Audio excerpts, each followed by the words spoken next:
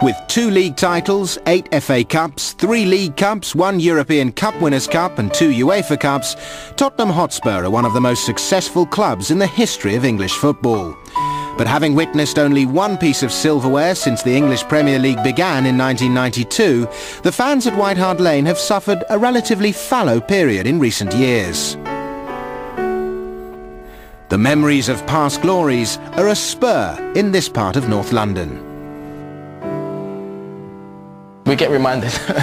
we definitely get reminded, but um, obviously speaking to fans and that, you know, you can you can sense that the fans just they, they just they obviously they want the glory days back, and you know, Tottenham over the years they've had they've had great players, you know. Um, you know, for, to be a part of it, you know, to, if we achieve something good this season, to be a part of it, for me, it'd be, it'd be brilliant. Spurs have always been considered one of the big five clubs in English football, and the belief in the dressing room is that this could be a special year at White Hart Lane. Spurs are sixth at present and are well placed to make a push for a lucrative Champions League spot next season.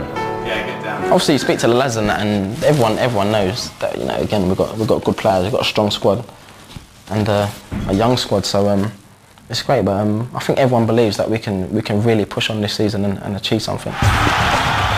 Jermaine Defoe is one of five Spurs players in the current England squad.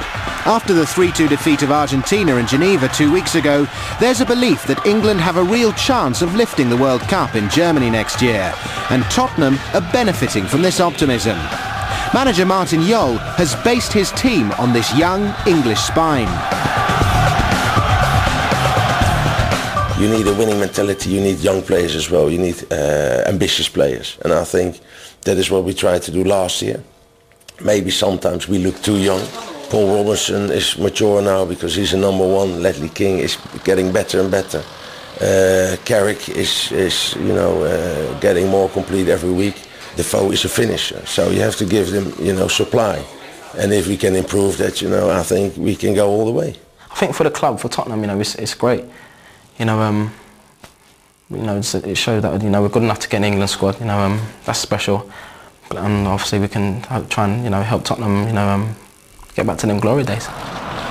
Wayne Rooney and Michael Owen may be keeping Defoe out of the starting lineup with the national side, but training with that calibre of player can only help his development. Good news for Martin Jol. The Spurs quintet are soaking up their education. When you go over England, you can you can learn off a lot of players, not only the strikers but the midfielders and the way they train. And you know, for instance, Frank Lampard, you know, um, in training, he seems to finish like a forward. So people like Frank, Lampard, you can learn off him. So um, that's what you can always learn. Defoe is a natural finisher. His 13 goals in 11 games whilst on loan at Bournemouth in 2000 remains a Football League record.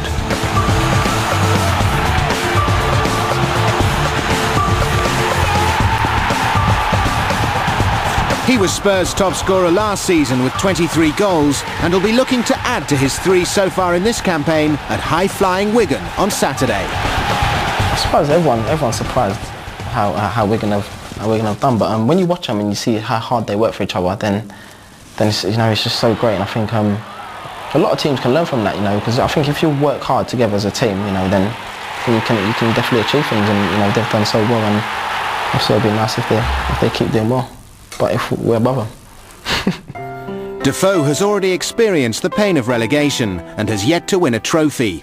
He's enjoying the harmonious atmosphere that Martin Jol has created at White Hart Lane, and if Spurs keep hitting the right notes, then success could be the chorus line.